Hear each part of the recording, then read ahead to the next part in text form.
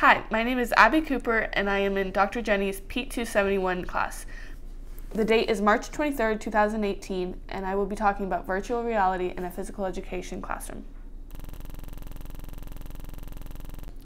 So what is virtual reality? Virtual reality is defined as the computer-generated simulation of a three-dimensional image or environment that can be interacted within a seemingly real or physical way by a person using special electronic equipment such as a helmet with a screen inside or gloves fitted with sensors.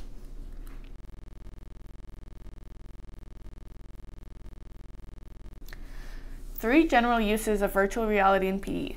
The app CoSpaces is an app that shows different scenes that people can look at through virtual reality.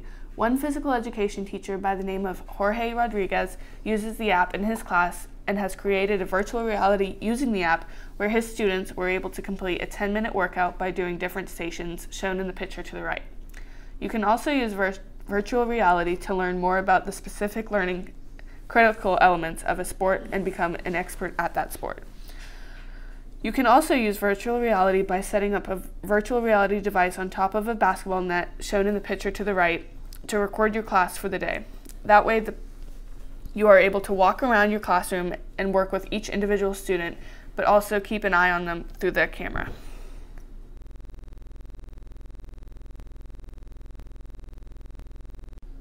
The three links listed below are the websites that I use to describe virtual reality and got all my information from. So how to use virtual reality. The only two things you really need in order to be successful in using virtual, virtual reality are a mobile device and a headset. You can buy a Google Cardboard headset for less than 20 bucks online. You can also buy a more advanced headset that can be very more very expensive. With that being said, if you want to buy the more expensive ones, you might not be able to afford 20 headsets for each individual student. That would leave a lot of students standing around waiting if you cannot afford that money.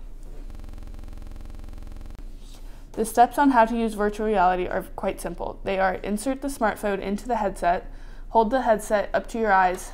If you're using Google Cardboard, open the viewer and insert your smartphone. If you are not using Google Cardboard, all you need to do is connect the headset to the TV or computer you are doing the virtual reality with and begin. Thank you for watching my virtual reality presentation.